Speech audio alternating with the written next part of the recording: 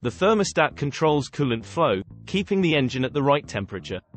Without it, coolant flows freely between the engine and the radiator. At first, this might seem fine, but here's the kicker, that coolant doesn't get a chance to cool down. So, instead of a refreshing splash of cold coolant, your engine gets a wave of heat. Over time, this can lead to some serious overheating. What happens if you drive without a thermostat?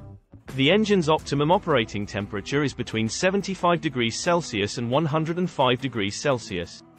Without a thermostat, you're likely running way below that, think 50 degrees Celsius or less. This can cause all sorts of issues. Engine wear and tear, fuel overconsumption, car heater problems, higher emissions. Pros and cons of removing the thermostat. There aren't many pros to removing the thermostat, but let's talk about them. Pros. Simplifies the cooling system. Makes diagnosing cooling issues easier. Reduces the weight of the car. Cons. Increased engine wear and tear. Higher fuel consumption. Poor heater performance. Higher emissions. Risk of overheating.